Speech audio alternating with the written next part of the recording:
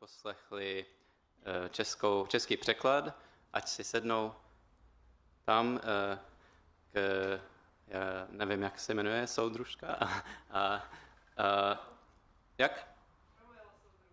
Eh, pardon, Romeo. A, a ať si sednou tam, aby poslechli uh, simultánní překlad. And now I'll switch to English. And uh, so thanks again for everyone um, coming out on this fine Saturday afternoon.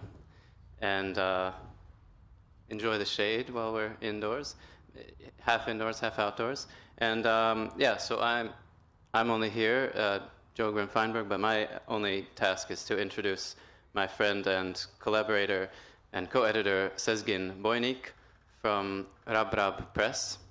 It's a Helsinki-based press that uh, I think I won't say too much about it because, ah, yeah, okay. It's going to be a change. Okay. Good? Yeah, so, um, we'll tell you more about, about the press, but press that does radical literature, also on art and the avant-garde and connections between the avant-garde and revolutionary politics. And uh, the two of us recently collaborated on a, an English translation of Karel Teige's Jarmark Umění, the marketplace of art, in our English translation, and uh, and a number of other books. And and Sezgin is going to take the chance to talk both about you know what a, what radical publishing can do in in as part of radical movements and and about art and politics, revolution in general, uh, with a few examples from the books you've published and are planning to publish. Um, and yeah, and then we'll open it up to discussion for kind of, I think, I think the idea should be partly, you know, think practically, like how, how can we, how can radical publishing be a part of movements and what you think radical publishing can do and radical art and what's the potential, what are the limitations, those kinds of things. So prepare your questions. Using this, uh, thanks, Joe, and I'm really happy to be here.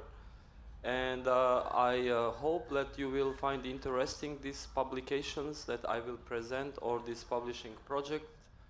Uh, I try to make it a bit more general introduction of what is Rabrab Press standing for and what is the history of Rabrab Press. But also I brought one uh, copy of the book that is not in English, it is in Turkish language, that, that we just published with another initiatives that I am a part of in Kosovo and dealing with the socialist histories, local socialist histories, very interesting stories. So at the end, when we have a little time, I will also talk about this something else and Rabrab Press. So Rabrab Press started in 2014 as a journal, and a journal's title, subtitle was Journal for Political and Formal Inquiries in Art. And the main idea of the journal when we started was to think art, or today contemporary art productions, and the political aspect of that especially, outside of institutions. Sort of how we can talk about the political and let's say any sort of relevance of contemporary art outside of institutions means outside of exhibiting institutions, galleries, museums, whatsoever. It's not that we are against uh, exhibiting exhibition institutions, but we started to challenge a group of people or, of how to produce a, a knowledge that is not, let's say, a part of the, of the exhibition program of the institutions. And the idea was that, in fact, we produce our own materials. And the people who were involved in the journal, some artists, some politically more engaged people, we came with an idea that, in fact, everybody can write. Whoever has a practice is able to write. You know, and in order to publish these annual journals, I unfortunately have nothing here but except a picture of the second issue is that we had like certain specific topics to start with. So the first issue was on indexing. Sort of how do you list, how do you index uh, questions? How do you, how do you, let's say, represent your corpus of information, whatever you have, and especially if that information is counter to informations or knowledge that are available. And the second issue, which will make more clear of how Rab-Rab Journal is work, working, uh, was about noise. Uh, so there is a lot of interesting projects, interesting uh, uh books, anthologies, special issues of journals on noise. But uh, we, well, we didn't make this issue as an overview of a current available scholarship or, or interventions of artistic projects on noise, but we had an idea of what actually uh, noise should be. And the title of this second issue is Noise Against Culture. So it started with an idea, it starts with a position that a noise, you know, at some point, especially in 2000, a noise as a music genre became very popular. You know, sort of like a development of the, uh, maybe, a, let's say, a punk or more radical musical subcultures. The, uh, most of the uh, projects that we came across around the noise and around this subversive element of the, of the music was based on one theory of Jacques Attali. Jacques Attali is a, a scholar, philosopher, who wrote a book called Noise, he wrote in French, with the subtitle Political Economy of Music. It is very interesting book. I recommend you to check out. It's a small book, easy to read, and it has a very interesting, at some parts maybe even more interesting than book itself, an introduction written by Fredric Jameson, American Marxist scholar. And uh, Jacques Attali's theory to really, let's say, uh, put it in, in, in the most uh, sketchy way, is very evolutionist, is very historicist understanding of noise. He claims that yesterday's noise is today's music. So whatever radical gesture in West was produced, uh, in sound or in uh, other forms of culture, it's sooner or later recuperated. So what is a noise? Yesterday becomes today's music, becomes more bearable, becomes more, more like a, a normal. And uh, then uh, is in the journal, we thought that this, this uh, description of noise is very predictable and very, uh, very much based on a narrative that whatever radical gesture you do, it's doomed to failure. It's doomed to end up in the capitalist or mainstream dustbin, you know, in the, in the rubbish. So we came up, they said, no, is that possible to have some idea of noise as a noise against culture, which is yesterday's noises that still today are noise. Something that uh, was not uh, are not easily recuperated and resist to be part of this mainstream culture. So that's why the radical thesis against culture, which means against this culture as a very big term, you know, which absorbs everything and in the end of the day, it's always like bourgeois culture, affirmation, reproduction of the existing uh, structures, of the existing way of how things are handled, done, disseminated, produced, and all that.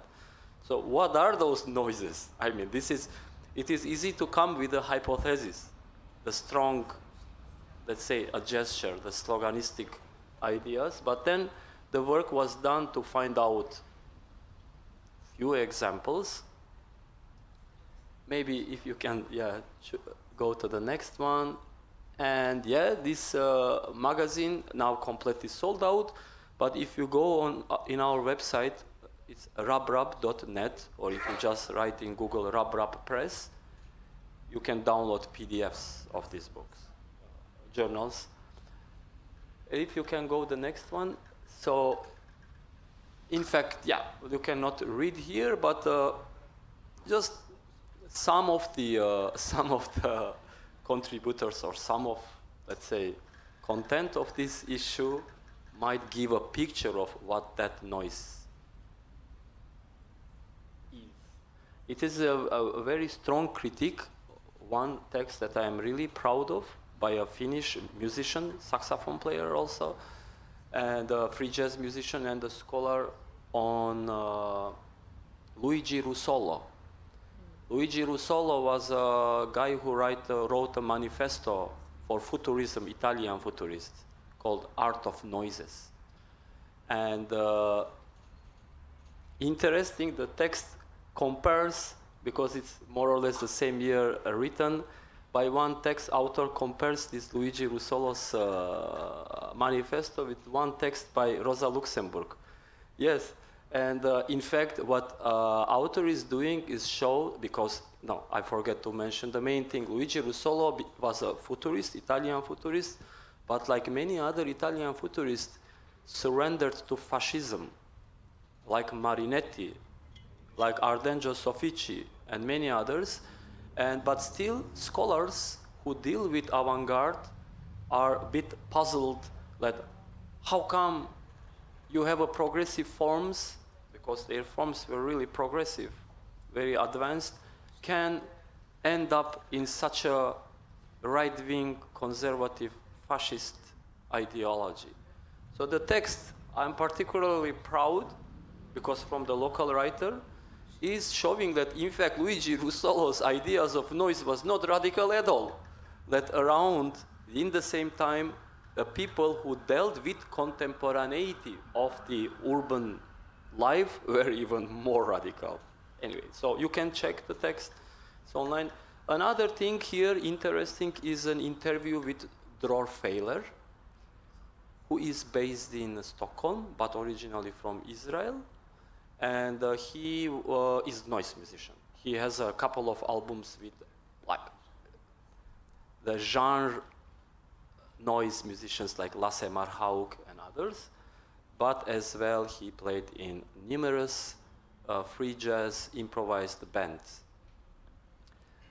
Uh, Dror we talk about the noise with him, but it's interesting because Dror Feiler is, for example, persona non grata in Israel because he was, uh, he is uh, president of European Jews for Peace, and he is also spokesman for Ship to Gaza. He was in Mavi Marmara when the attack was uh, done, and he was like imprisoned for a month.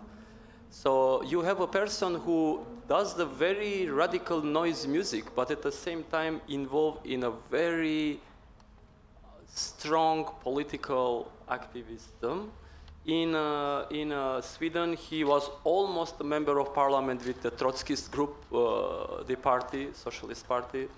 So yeah, we have a very interesting, let's say, an example of a person who insisted on that, let's say, opacity, on that strong currents in art, very radical forms, very difficult to, to absorb, but at the same time did not, uh, did not, uh, did not uh, let's say, uh, detach from the political activism. And he has an interesting theory of how he combines these two. That's, that's for example, an interview. Uh, other stuff that Rab Rab so made this journal, this is a second issue, then we made another one issue that I can talk a little bit about on a subject called uh, outside of forest outside of forest, it, it would be interesting for you, so I am talking a little bit in detail. Also in our website you can download, third issue. It is, has a very uh, local, local, let's say, intervention, local aspect. In Finland, where journal is based, Helsinki, a projects around the forest, around this environmental aspect of forest, tend often to be very nationalistic, sort of mystical, very much influenced by Heideggerian ideas. You know, so we found this quite a problematic way to talk about a forest and uh, to combat this, let's say, cultural conservatism, we introduced an, a, a text of Karl Marx from 1842 as a way to discuss a forest in a different way. I tell you a little bit about it. So Karl Marx in 1842, when he was promising left Hegelian, had this idea to have a brilliant art theoretical interpretations of left Hegelianism, he was commissioned to write a text about uh, privatization of forests. Actually, the laws that Prussian Assembly introduced to criminalize a people who were collecting a dead wood from the forest, which is their right, no? And while he was analyzing, this is that Marx's famous text on theft of the dead wood, while he was studying the parliamentary meetings, minutes, of how these new laws was introduced, he of course came up with a very important thing that for him until then was not so obvious. That is that the laws are not neutral but are made to protect interest of certain class as a violence against another class. And then he became communist. He became what he became, no? And uh, that conversion yeah, started studying law, studying concrete things, concrete, uh, concrete uh, things that concretely matter how the state and the capitalism runs. And then he, let's say, that moment of conversion, of change, of that, that let's put it like that, coarse abstraction. You know, you make an abstraction, but you come with a to, you know, very like angry conclusion is that abstraction doesn't make you more, more let's say, refined. It made it more, more angry person. So anyway, through this metaphor, then we had worked through collecting the various texts of that, uh, of interventions by artists and some scholars. There are a lot of interviews also with different people.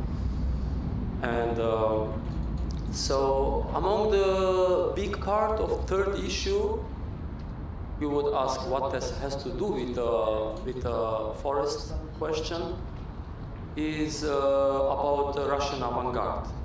We have a very long interview with Margarita Tupitsyn, very interesting scholar of Russian avant-garde, who has introduced uh, a political conjuncture as an important merit to understand these artistic developments, let's say, from Rodchenko or, you know, whatever, so including Malevich.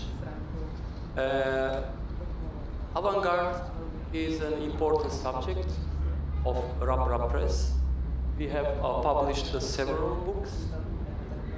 If you don't mind to go to the next. This is one of the first little pamphlet that I made in uh, 2014 on Zaum language. And Zaum language is now uh, an important element, uh, let's say, important topic of one series of books in Rab-Rab Press. I will talk a little bit about them. But before Zaum, in Russian means beyond sense, sometimes translated as a transcends or transmental in French. It is kind of Dadaistic poetry made of like consonants and vowels. you perhaps know from the sound works of you already already discredited futurists, but also uh, by Dadaists, you know, by Hugo Ball and others. So this is uh, sound poetry, the meaning made through sounds, which first instance, at the first look, looks like a meaningless, a gibberish, cacophony, noise, but the authors of this kind of poetry claim that it actually has even deeper meaning. That's Zaum. Zaum in Russian avant-garde in the beginning of 20th century tend to be the most important, as Shklovsky would say, device. There is no avant-garde artist of any merit who haven't done something about Zaum or written about Zaum. From Khlebnikov, Mayakovsky, Kruchenykh, all, but including more leftist artists who wrote after the revolution, like Sergei Tretyakov, Boris Arvatov, Osip Brik, they all have done something around Zaum, which is this nonsense, very opaque, very difficult forms, very abstract language. Trotsky wrote about Zaum. Nikolai Bukharin commented about Zaum. Zaum was a subject because what is interesting, like the most of the abstract art work in Russia, which started pre in 1913 and continued during the war, during the most nihilistic period in the Russian Empire when millions of people were dying. Zaum was then quite popular, but what is very interesting for us today and for leftist scholars like us dealing with these subjects is that after the revolution, most of the people claimed the relevance of Zaum, claimed the relevance of this radical abstraction in the new political conjuncture. And they vehemently did so. And that was like a very important question for me, that people has that confidence into abstraction that during this very political period of Soviet Union tending to expand the revolution on the international scale that we have these Zaumniks, they're going with their own, own methodologies, with their own work. Kazimir Malevich even earlier called his suprematist paintings as Zaum paintings. Kazimir Malevich, when he reformed the edu educational school in Vitebsk under the UNOVIS, which took from Marc Chagall and completely revolutionized, he wrote a little book on a new systems in art and wrote as an epigram something ULLK, our new path.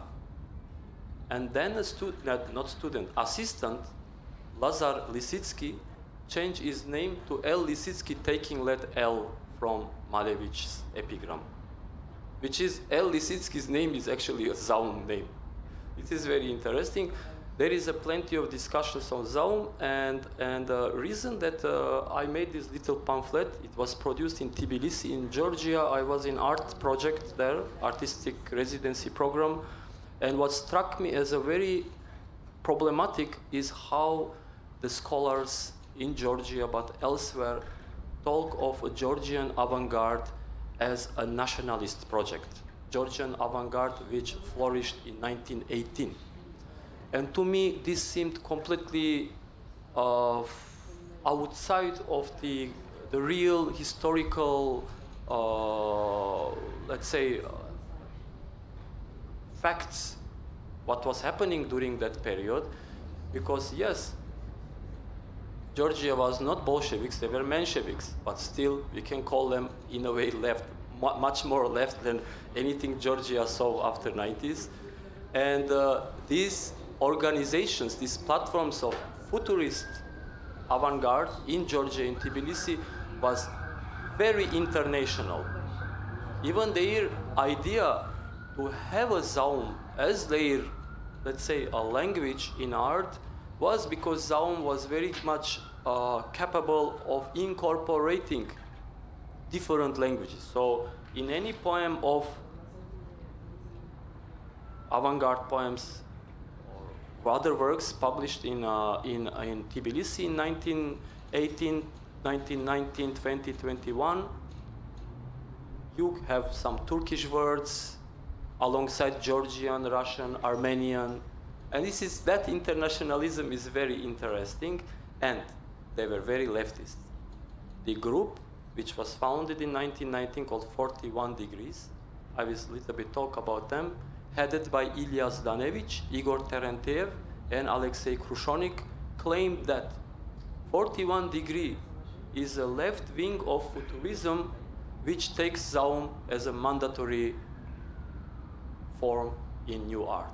So you have, when you have these elements, when you have these facts, it is difficult to translate them into a nationalism and claim that Georgia, a pocket, an oasis of the, of the banality of the East is very much related to European culture and the avant-garde was the affirmation of this Georgianness of this like uh, you know independent European being. So this is I found very problematic. That's why this little pamphlet is intervention to that. Uh, but to generalize this discussion, because this is a subject we very much talk with uh, Joe, and we we aim to further this uh, this uh, project.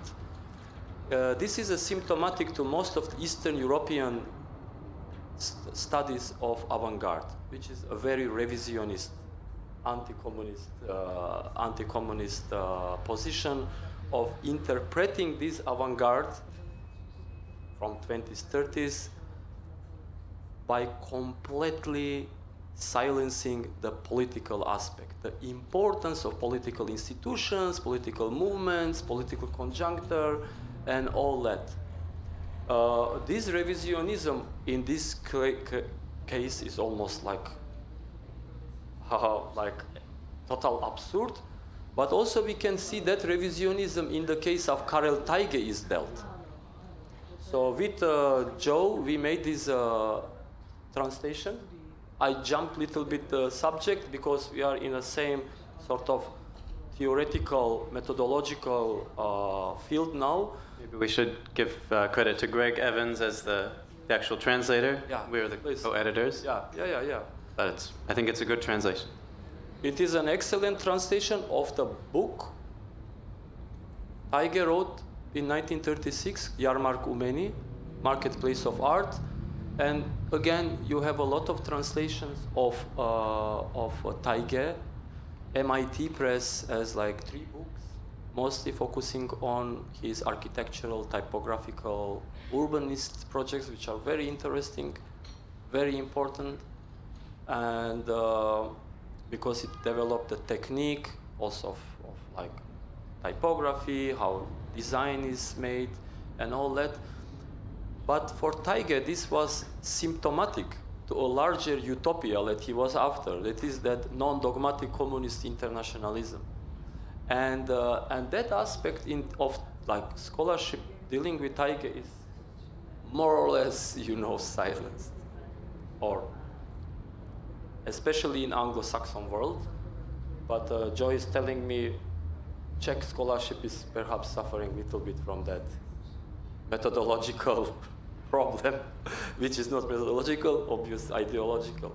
But uh, so we translated this book with an uh, extra commentary, extra book, which includes a commentary uh, of uh, by the uh, contemporary theoreticians of art who deal with the left issues or are themselves active politically. Esther Leslie, for example, Esther Leslie, she is a founding uh, member of Historical Materialism Journal and also in editorial board of what I would say one of the best uh, historical journal Trotskyist uh, perspective called Revolutionary History. And she wrote a couple of books on Walter Benjamin. So she commented uh, Teige's text alongside with Dave Beech, Paul Wood from Art and Language Group, also involved in the avant-garde uh, theory and scholarship. So this was an approach and the local surrealist uh, commentaries, uh, local writers that Joe was in touch. So I think it is a, it is a non-academic but quite a rigorous and uh, engaged approach to Teige's critique of the art market. Yesterday evening we had a launch of this book. Uh, it, it can go forever to talk about it, but maybe uh, it's, this is not an occasion. Uh, just maybe to summarize yesterday's, let's say, conclusions, because we had a quite long debate about it, is that Teige, Teige wrote this book in a quite a particular moment of a crisis where he had a fallout both with the Stalinist dogmatic communist party and with the uh, local art, uh, art uh, some art movements. And when he had a complete try to introduce surrealism as a new form of uh, developed form of socialist realism, and where he got completely disappointed both from the art and the left and wrote this angry book against art market and it's amazing and to summarize thesis is that there is no democracy in bourgeois culture and no democracy within the rule of the art market which is always in the background is an ancien regime based on nepotism on this kind of uh, very uh, very non-open relationships. So yeah, this is our approach to Teige, a bit political. And uh, yeah, as a Rab-Rab, can you jump the uh, one more? Yeah, one more. Yeah, maybe you can go slowly, like every one minute. Yeah, with this because I have several images from this book. This is a book Unfortunately, I don't have it here. One copy. You have here? Yeah. With you? Oh, great. You can, yeah, thanks. It is uh, called Coiled Verbal Spring Devices of Lenin's Language. This is a book we published in 2018. We're late to publish in 2017. Here is book. You can have a look. Maybe you, yeah. Uh, spend a lot of resources, a lot of time uh, to make this book happen. Uh, this is the first English translation of a special issue of LEF, Left Front of Arts, edited by Mayakovsky, published in May 1924. It includes uh, commentaries by leading Russian formalists, which are literary and art theoreticians. Some you might know, like Viktor Shklovsky, Boris Eichenbaum, Yuri Tynyanov, Mayakovsky commissioned them to interpret Lenin's language because they write about Zaum, they write about uh, Pushkin, everybody, but uh, then it kind of, he had an idea because, you know, Mayakovsky, after Lenin's death in J January, wrote this long poem on Lenin. And he thought that the scientists of the soul, what he called the Russian formalists, and those who really know the magic of the language, can teach him how, what was the magic in Lenin's language so he can write the poetry scientifically. But of course, he wanted, he had a, he, Mayakovsky, had a strong belief that the avant-garde ideas, because Russian formalism, Opoyaz and all this was started before the revolution and none of them were any Bolshevik. And none of them were even leftist. Shklovsky, but from the corner a member of socialist revolutionaries, which were vehemently against Bolsheviks. We, in fact, wanted to assassinate uh, Lenin. Anyway, so uh, Mayakovsky introduced this idea because he really believed that an avant-garde uh, discoveries has a relevance in that day's uh, conjuncture, and they wrote these articles, very interesting texts very, uh, very uh, playful, uh, very also rigorous study of the speech, revolutionary speech, the language of Lenin, to some, like, there are different interpretations. Some of them, Eichenbaum especially, deals with Lenin as Lenin's language, as a language which was perlocated or, or was like uh, built, was made up in an underground, in complete illegality. A language which had nothing to do with bourgeois culture, had nothing to do with a war, with capitalism, with any institutions. And that developed its own, let's say, form, which he was analyzing. But uh, most of uh, these texts, and that what, that what makes these analyses so contemporary, so interesting, they deal with uh, unresolved contradictions. That was 22, 24, 23, 24. That is the question of NEP, New Economy Policy.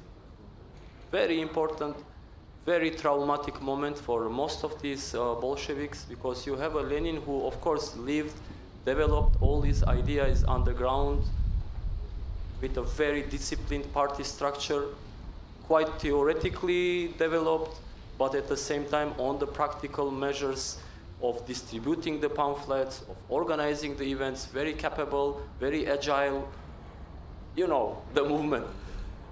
But then you had the whole state to build, the whole institutions to run. And then you have a moment of introducing a little dose of capitalism, which is the NEP. The idea here, which most of these uh, formalists are recognizing, and it is very, very well uh, analyzed also by one uh, Marxist scholar, um, historian, Georges Haupt if you are familiar with, French, uh, one of the most interesting uh, historian of Marxism, especially beginning of 20th century. It is the same, uh, it is the same uh, conclusion that uh, Lenin, when introducing a NEP, he actually was introducing this militant subjectivity. He was introducing the primacy of politics over economy. He wanted to save revolution by, let's say, uh, giving up, giving some concessions regarding the economy, economistic aspect of, of the so socialist uh, regime. So the first text, be, uh, Better Few But Better, for example, and other two where he introduced the NEP ideas, they were censored in, in Pravda. They were for a long time not even published because it was completely a new, new idea, new contradictions, new difficulties of this uh, conjuncture. And that is the texts, that is the language Rus Russian formalists like Eichenbaum, Shklovsky, and others are especially analyzing. So they don't analyze the, the canon of Lenin, how Lenin was speaking, but how Lenin did speak how actually Lenin end up with his last words in contradiction. So in, in fact, they deal with a more unresolved contemporary situation of that uh, socialist period, and that's, that's why these uh, texts are quite relevant and uh, very interesting to read even today. Uh, book also includes you can go back. Where is the uh, back? Yeah, one, yeah, here, thanks. So the uh, book includes a long introduction that I worked quite a, a long period to discuss again revisionism.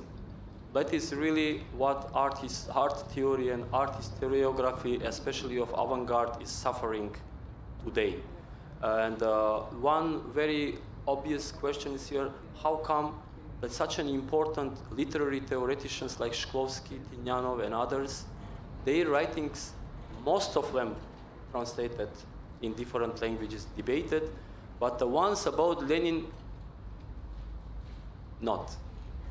Or, like, when they are mentioned, they are completely dismissed as an unimportant moment of the Russian formalist writings that was very much connected in a way to their wanting to be part of this new power system.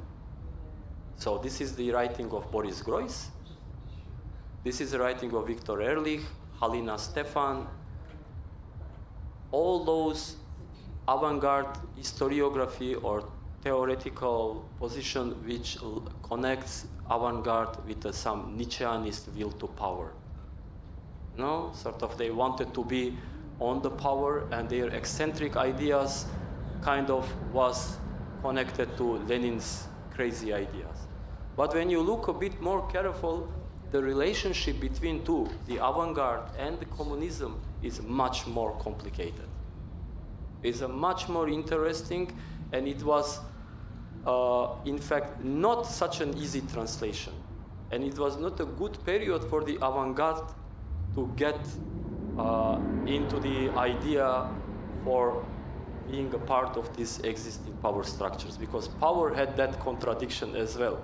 Let's say, particularly with new economy policies. So that is a long introduction, and then there is a pamphlet, which in 25 Kruchenykh, the futurist, published after reading this LEF issue called 11 Oratorial Devices of Lenin's Language.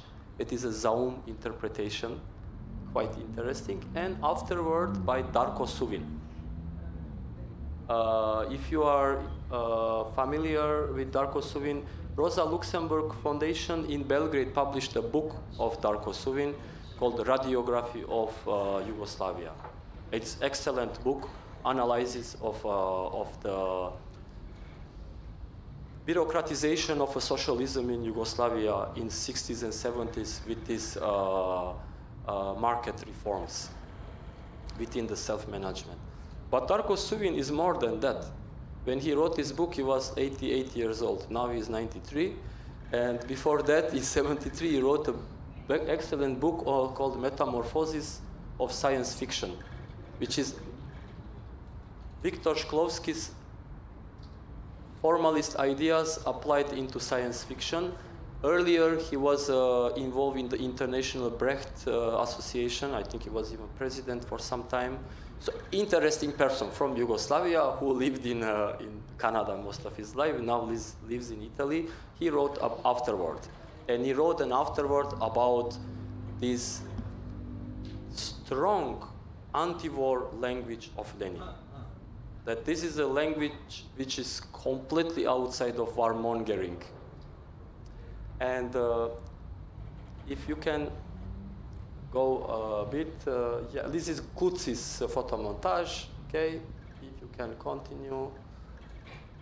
Yes, more. You can see only Lenin's uh, nose if you open the flaps. Not recording his voice. So yeah. Then we started uh, something uh, called Bie Bao series. This will be eight volumes in total. Uh, it's dedicated to a rather obscure, actually, I would not say obscure, he was uh, central to many interesting and important movements, but rather unknown avant-garde artist from Georgia called Ilyas Zdanevich, or Ilyazd. Maybe as Ilyazd, you might know Ilyazd, uh, it is a name he took when he moved to Paris in 1921 and from then onwards, in Paris, Ilyas Zdanevich was a typographer, designer, made a, he's a person who, re, who made an art out of books. Today, for you who are interested in art world or engaged, the artist books are an important component of artistic practice. But that started with people like Ilyas, who insisted on this expanded form of of publication of a book as an art. Anyway, so uh, he was active already in 1910, 11 with Goncharova. Uh, then he introduced Marinetti in 1912 in Russia. So he was behind a lot of futurist avant-garde activities. And in 1916, he made a play in Zaum language called uh, Janko, King of Albania, Janko Krul Albanskaya. It is a Zaum play, quite interesting, very noisy. Even there is one noise album by an industrial musician from uh, Finland, actually, called Janko Krul Albanskia. It's very interesting, uh, very canonical uh, work of art because it introduced this, uh, what he called orchestral zaum, when the few people are uh, simultaneously performing the uh, various, various lines, which are adding the noise to the noise. So this is mostly on, on, on Zaum. But uh, interesting is that in 1916 he made this work, this play, which is critical of uh, Russian expansionist uh, policy toward Albania. It is a critique of the war in Albania, of the colonialism happening in Albania, and made in Zaum language. There is an introduction where you understand what is the subject. So that was for me very interesting to find out that, again, very radical, very extreme work of art dealing with the actual political uh, issues. You know, also Mayakovsky has a poem from 1915-16 in line saying, to whose pockets are going all these golds from Albania? Do you know this line? Mayakovsky has uh, in one small poem. So anyway, uh, Zdanevich then in 1918, because in 1916 he couldn't publish this uh, book in St. Petersburg because of censorship, because book was against the war and had a quite a explicit language also at parts. Uh, he managed to publish as a booklet he himself designed in 1918 in Tbilisi. It's a beautiful book. It will, you can find it online. Zdanevich, Ilyas, Yanko Krul-Albanskaya. And uh, in there, when he published, he added a line which didn't exist in the original play called Aye Bie Bao Biu Bao. Zao. That's why Bie Bao series. And uh, so Zdanevich was in uh, St. Petersburg in February, but also in April when Lenin visited and declared his April thesis. And famously he said, he heard Zdanevich, Lenin saying, the people need peace, the people need bread, the people need land, and they give you war, hunger, and no bread. That's famous, like we have to stop the war immediately. And these uh, words Zdanevich translated into Zaum, Bao. So this is Lenin's words translated into Zaum and added into the, uh, into the uh, Yanko book. That's why the, series is called Bie Bao and deals with the legacy of, if you now just go slowly one after another, deals with the legacy of uh, Zdanevich, but especially in, important in his uh, leftist, uh, more uh, internationalist uh, interpretations of this Zaum project. The first volume is his lecture on uh, Zaum, Le Degré 41 Sinapisme lecture on pearl disease. Sort of Zaum is like a pearl. It's very singular, very difficult. It's not arbitrary, random not something, a mess, you know, it's unique. And uh, each of the volumes have the same components, a bio-bibliographical intro. Uh, by the way, Zdanevich was also known with writing and publishing a lot of bibliographies. He was a bibliographer.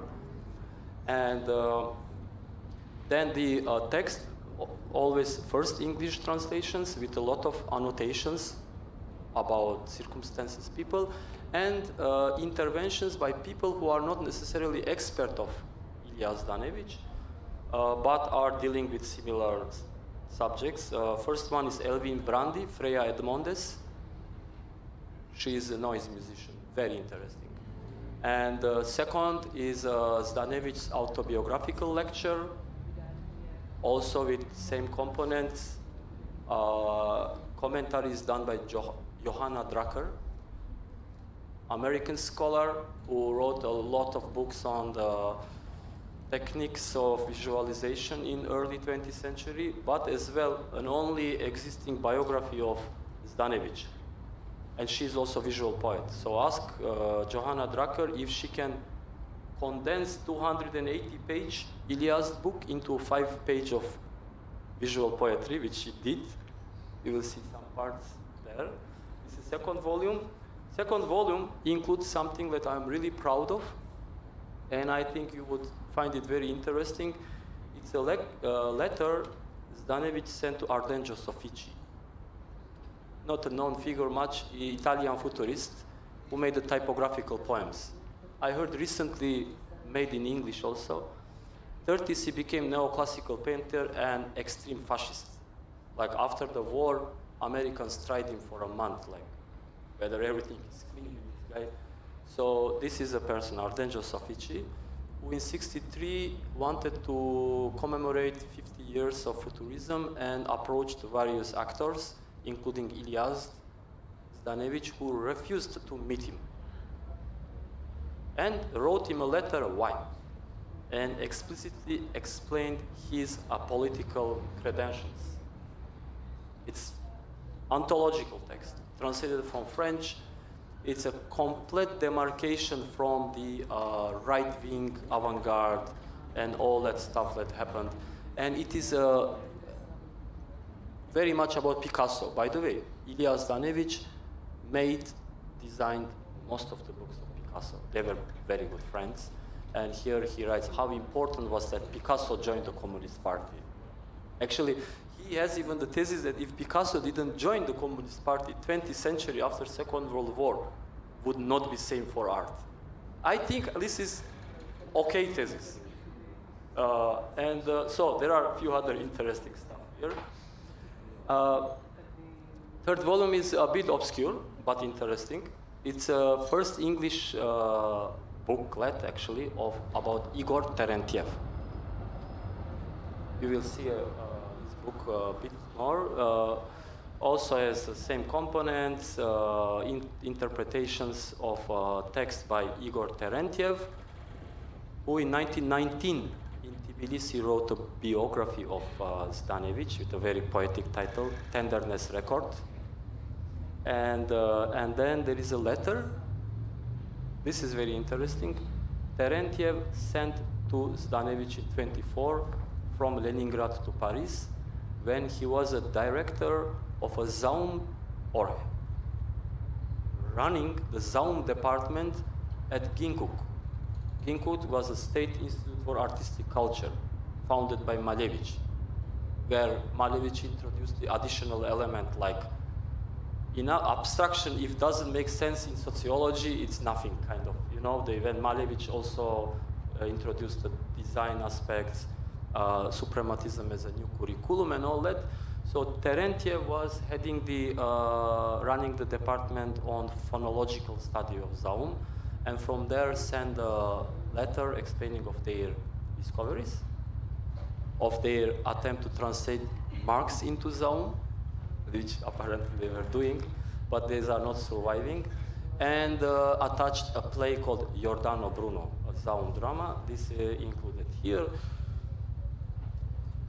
the series uh, dedicated on Zaum. Then, uh, do we have time? Can I continue 10 minutes more, or what is the situation? Uh, maybe if you can be a little quicker than 10 minutes, but you could say a few words about uh, Otobi Merin and, Otobi and Lajos yes. And future plans. Okay, good. So, uh,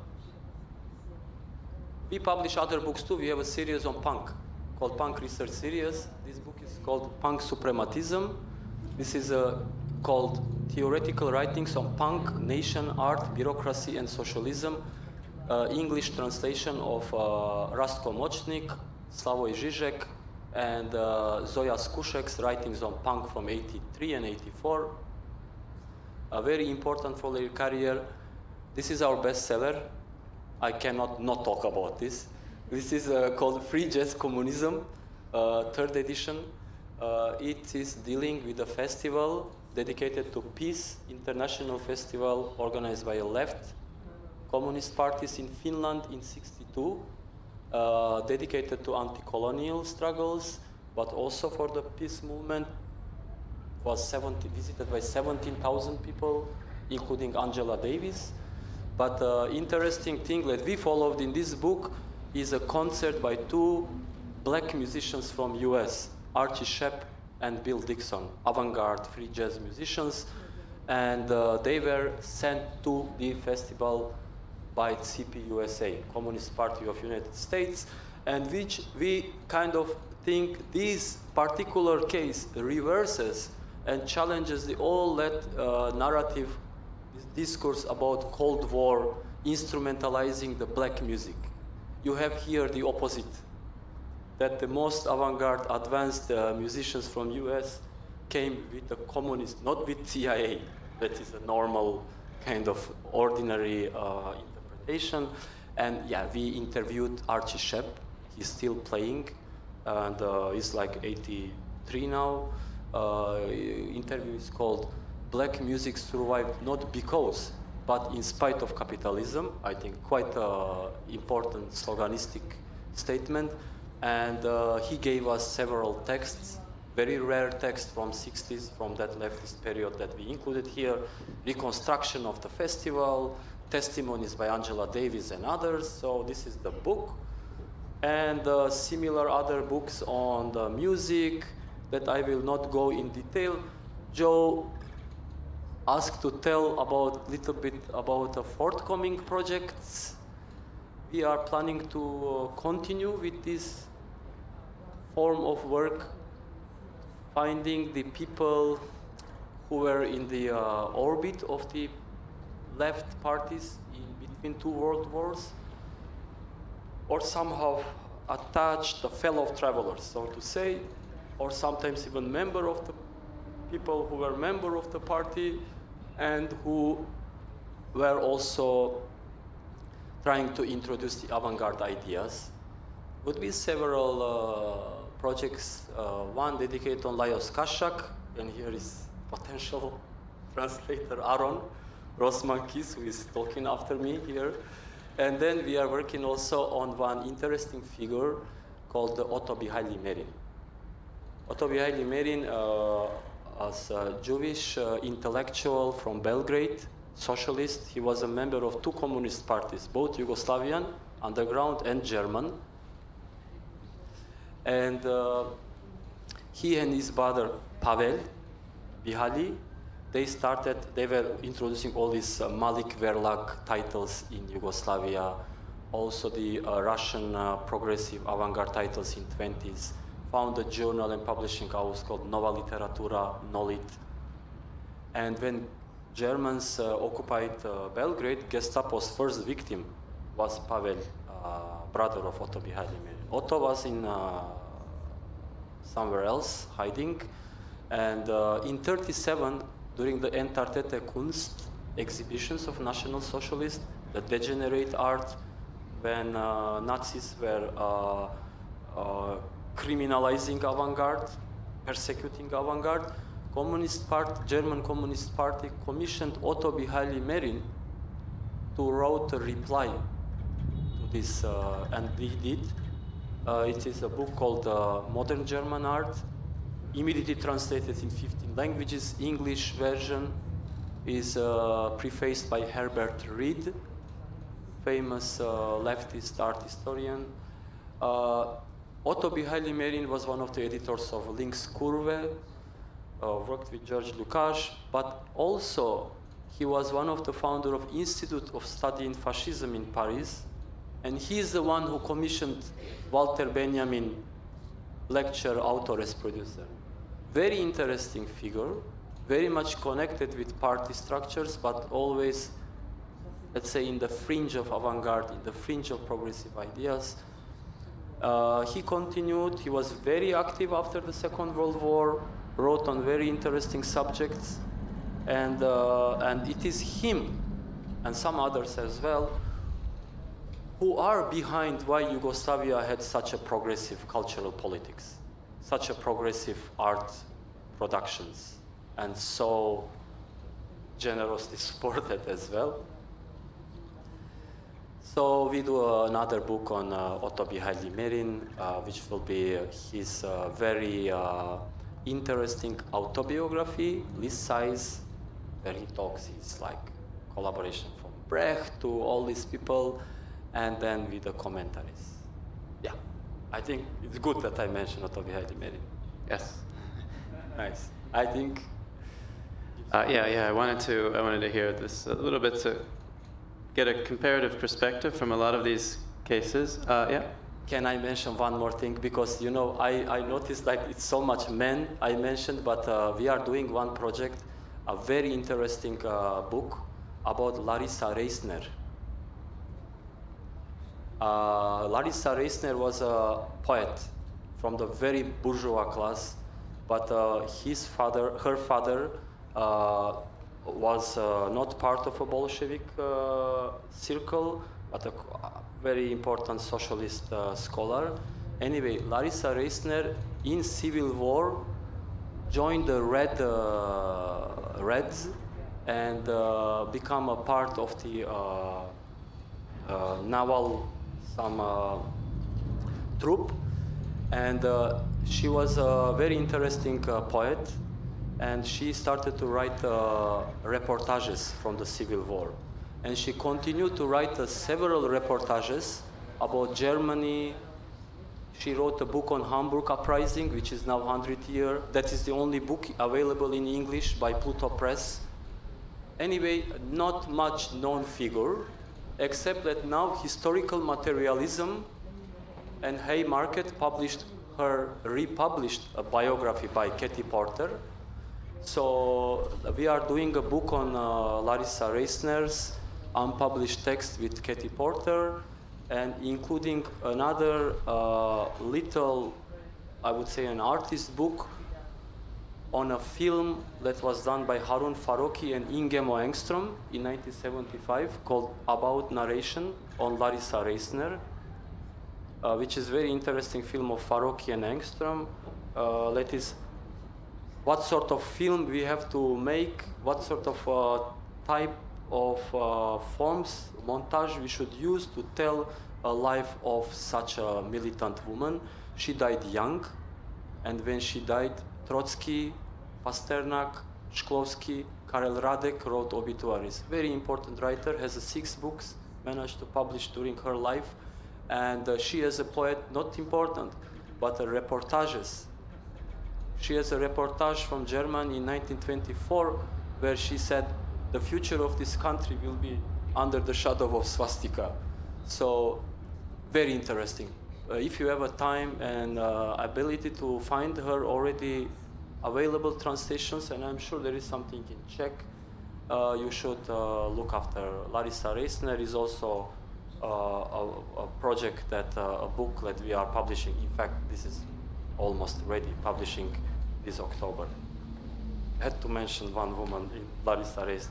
Yeah, thanks. Yeah, thanks. Um, well, I have I have one question, but I want to uh, about comparing the time before uh, and uh, and the contemporary moment in publishing. But but first, I want to open up to the public to see what questions you have, in case you want to jump in before Sezgin answers that. Uh, yes, first in front. Yeah. I wanted to ask you what first what wrap Uh, means. Uh, uh, where did you get the idea? What does it mean actually? Thank you. I wanted to ask you what Rab-Rab means first, and um, the second question is more general. Uh, during your theoretical career, um, have you found some kind of device uh, against avant-garde art to be co-opted by mainstream media, culture in general? Some like universal device against this co-optation? First question is it's easy. Rab-Rab came from a sound that uh, uh, ducks coup- coupling, you know, the sex call of ducks. That's from there, and uh, not some big uh, meaning. It's Dadaistic, and uh, in reverse is barbar, of course. But about the second is of course very general question, and I think that's like you know really what I try to do by uh, what is a device? Maybe device it will be too, let's say. Uh, a big claim to, to like for me to say like I found a device, but at least I, I have some ethics with, with what I am opposing this recuperation and cooptation. I don't uh, reproduce the already existing uh, uh, productions or, or materials of the institutions.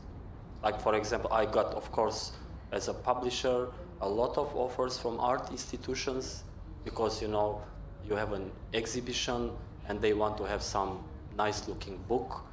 I don't do that, never. Never with the academic institutions either, which is like, oh, we have a big Marie Curie grant, millions. Can you publish our uh, collection of like, let's say, an articles of, no, you know. So in that sense, uh, it's difficult. This, but that ethics for me, that you have your strong independence, that subjectivity, you know, I, I keep it. I, uh, that is kind of an ethics as much as I can. Of course, there are collaborations with an institutions, but it's, it came from us.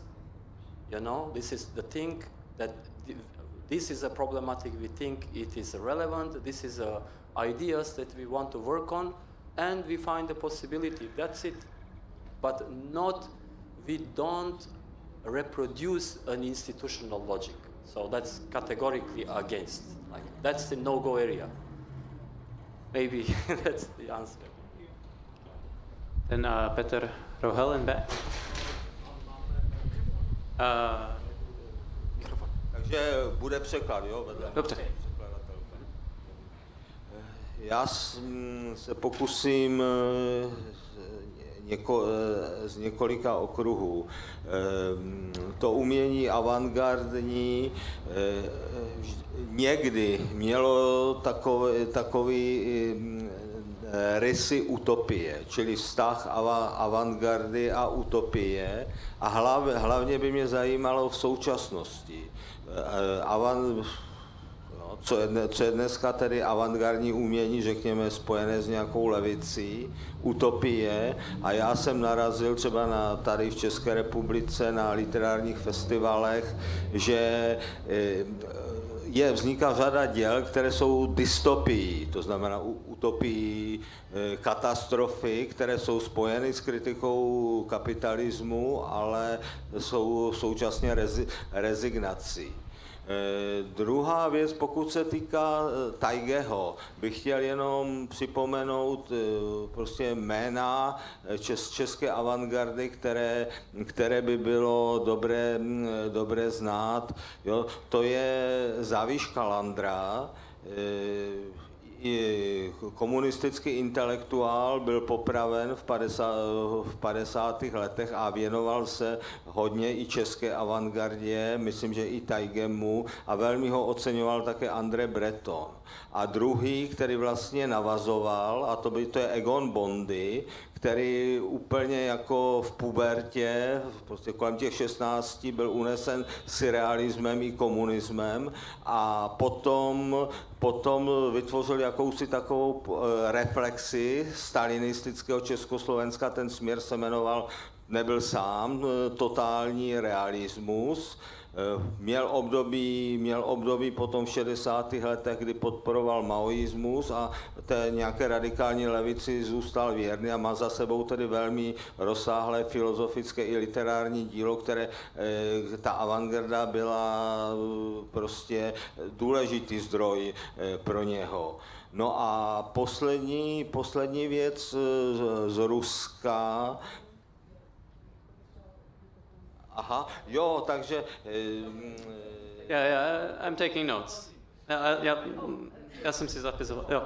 Jo, eh, takže teď to zkuze, já už potom jenom nesmírně krát, nebo můžu to doříct už? už, už je- Jo. jo. Rus, eh, Rusko, eh, tam možná by stálo za to v té obecné ek- ekonomické rovině se zamyslet nad tím, jak oni hned po revoluci tedy kontrolovali závody buď dělníci kompletně, anebo se rozdělili tedy z vlastníky, nicméně ta kontrola byla, takže to, to, to byl ohromný, stále podle mě nedoceněný naplněný pokus o hospodářskou demokracii. A já si myslím, že něco z toho se možná promítlo do, i, do té, i do té avantgardy. Politicky, pokud se týká Lenina, tak eh, je dobré přemýšlet o těch eh, takových demokratických proudech v bolševické straně, to byla dělnická opozice a mm, demokratičtí centralisté. A z těch autorů já myslím, že je, nebo za, že je důležitý Ehrenburg, který,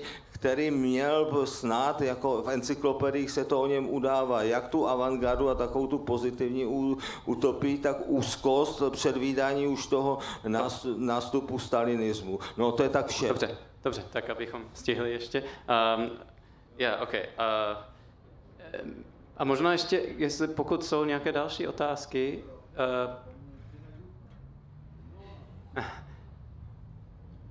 Dobře, tak, tak přeložím tyto otázky. Um, so the first, the first question was about avant-garde and its relationship to utopia, to what extent you see this pointing towards a utopia as part of the avant-garde, if I'm interpreting it right. And then the second was to bring it, the question back to the contemporary moment and the contemporary avant-garde. And maybe that's where I can, well, afterwards I'll add my question. Um, uh,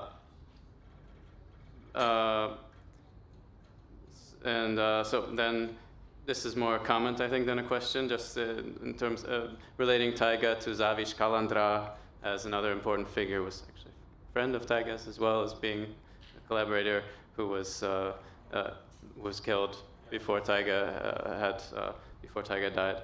Um, and, and also Egon Bondy, who was inspired by Teige and the avant-garde and later had an important influence on Czech radical left culture in its own way.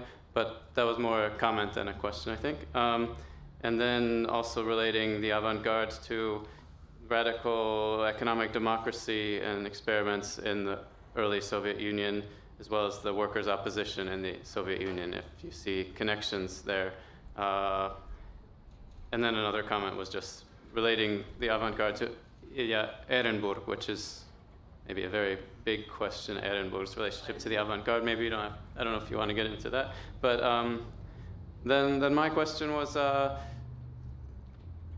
also looking at the contemporary moment, thinking about how the, both the art world and the publishing world, uh, the left radical publishing world have changed in part because there is not the big party as a point of orientation that people either were members of or in the orbit of or directly collaborating with, and whether um, how, how you feel like what, what has to be different, what are advantages and disadvantages of that situation in the contemporary moment, maybe looking back to before 1917 when also there was like radical, sort of more radical and progressive art and publishing projects were often more separate from political like socialist organizations, the organized movement, were a bit more separate, and then they had more collaboration in the interwar period, and now again maybe there's more separation. But yeah, thinking practically, like how do you see, how do you do publishing? how does it have to be different from the way Teige, Bihalji Meri, um, uh, Zdanevich did things back then? And if you can finish it, sorry, we have to be a little bit brief, so we have a short break before the next panel. Okay. Uh, so uh, this uh, question about uh, for the relevance today, I think it's a very, very uh, difficult to now engage briefly. But my idea is that we are living in today. Of course, we are dealing with the past, but uh, all these books are also intervention against most of the time to these revisionist, very liberal interpretations of these radical gestures. So, in a way, relevance, if can have any ideological, partly political relevance, would be that. But uh, I, of course, uh, not directly in this because these are very specific. This is very specific projects that I have presented. But I also write other books regarding the art. I made a book called Contemporary Art and Nationalism, dealing how today's contemporary art, claiming to be very global, very internationalist, it is actually reproducing and is part of very nationalist conservative ideas. Uh, the, that I didn't come to present sixth issue of the Rab-Rab journal is dedicated and that was my plan but couldn't succeed so well until now to push the uh, journal uh, into a project that would make a use of Trotsky's, uh, Leon Trotsky's thesis from the history of the Russian Revolution, but also before he wrote about it, called Uneven and Combined Development. That is, Trotsky analyzed that every contemporary formation inherently, especially in capitalism, has also archaic structures. So Trotsky was aiming to completely get rid of this evolutionist, historicist view, which is very dogmatic and later became a diamat, diamat with uh, Stalin. But uh, he had a very uh, sort of uh, strong agenda to show that contemporary of capitalism actually is quite traditionalist, even includes the elements of ancien regime. You know, like uh, amalgamation between the archaic and contemporary, in fact, uh, really, we talk often about this, it is a, a dynamite against this uh, dogmatic idea, this historicist idea of the uh, correspondence or synchronicity between modes of productions and forms of exploitation. It gets done with that lie, with that myth, which, which in fact says that you have the feudal modes of productions and during that period you have the feudal forms of exploitation. But we, in today contemporaneity of bourgeois kind of culture, of contemporary art, you have like existing uh, feudal forms. And this is contemporary art.